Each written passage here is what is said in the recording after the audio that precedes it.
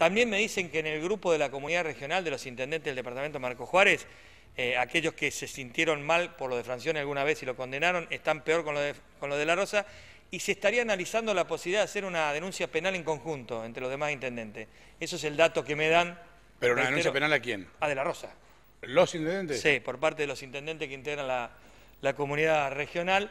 Eh, estaría por lo menos debatiéndose esa idea, no sé si se va a llevar a concretar o no, pero estuvo en el debate y en la charla entre el grupo de, intendentes. Y se mezcla todo, Juan, el condimento político, el tema de salud, la necesidad, la presión de la gente, una ciudad y una población que eh, defiende a su intendente porque cree que interpretó lo que ellos quieren. Eh, uno siempre le critica a los políticos que se despegan de la gente y no lo escuchan y cuando lo escuchan eh, pasa esto, con lo cual hay una dicotomía ahí y una cuestión que, es difícil de analizar estrictamente. Yo creo que hay una mezcla de cuestiones, hay sensaciones, hay emociones. Eh, vos notás en el tono de las declaraciones de los distintos protagonistas, donde no es simplemente una, una, declaración formal, sino que se mezclan esas sensaciones, pero el intendente recién en la conferencia de prensa bajó los decibeles, eh, no fue crítico de la actitud de la provincia, no lo sorprendió la, denuncia, pero dijo que siempre estuvo a disposición, pero claramente hay una ruptura, claramente hay un mensaje del gobierno No, no, está claro que hay una ruptura, esto está claro, más que claro, no hace falta este, ser demasiado erudito en la materia para entenderlo, ¿no? Eh, obviamente que institucionalmente y en el marco de eso se va a decir quizás que no, que una cosa no va de la mano de la otra.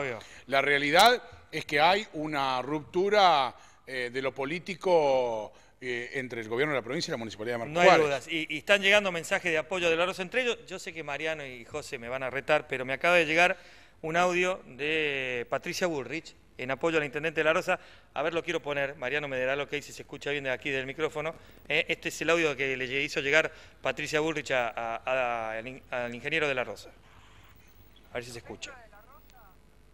Actuando para defender la economía, los vecinos, la economía de las familias de Marcos Juárez.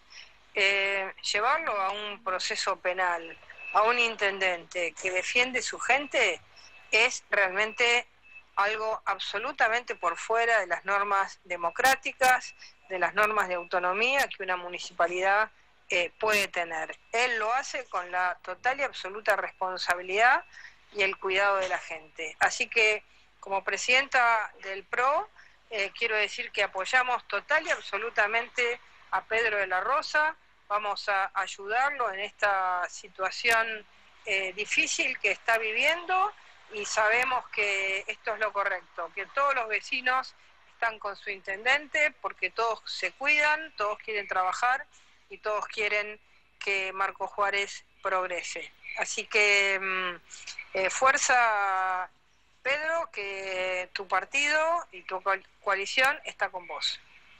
Bueno, ahí está el mensaje de la presidenta del PRO, que lo hizo llegar hace minutos allí al intendente de La Rosa, uno de los tantos mensajes que ha recibido de apoyo por parte de la plana política, obviamente, que identifica el movimiento de La Rosa, y creo, coincido con vos, Juan, en lo que analizamos antes fuera de micrófono, que más allá que se hace difícil en el contexto de pandemia, pero tiene una connotación política que no va a quedar acá, que va, a ir más allá de, este mero hecho. Esto, esto, es un, esto es un talonario de factura en blanco que va a empezar a llenarse muy pronto de un lado y, en contra. y del otro.